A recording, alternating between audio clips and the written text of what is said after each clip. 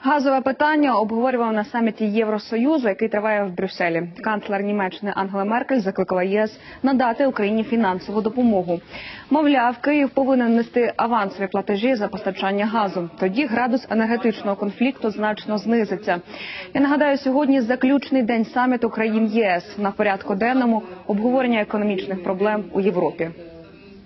Russland erwartet aber mit Росія розраховує і не безпідставно на гроші за газ у грудні, але Україна має багато інших проблем на сході, і це теж цілком зрозуміло.